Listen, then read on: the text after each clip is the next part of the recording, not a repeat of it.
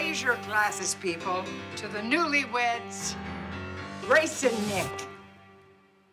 Surprise.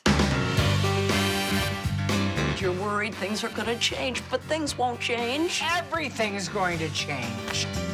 So you're Nick's new wife? That's me. I'm the new wife too. Me too. I'm terrified that my best friend made a huge mistake.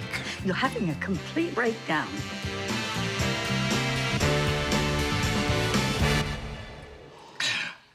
What are you, a narc? Drink it. The results weren't exactly what we hoped for. You're going under the knife and you haven't told your family. Because I know how they'll react. Coyote will spin out, Bud will fret, and you know that scary dream you have where Frankie moves in? Surprise! Oh, dear God. It's been a long time since I had to dazzle on the arm of a husband. One, two, three. Ah! Grace? You okay? I'm fine, honey. If you can't talk to your husband, then you really aren't doing things differently this time. This is the last thing I want to even think about. This is what we do. We take an obstacle and we make an opportunity. This is a new business for us. Rise up, crowd noise.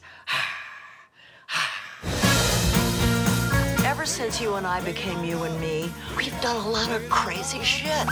Don't resist, Grace. Don't give these brutes a reason. But we've always done it together. This is our company's second act. It's our second act. We all really need to start drinking less. Let's go catch us a shark. Let's do it. Hello, sharks.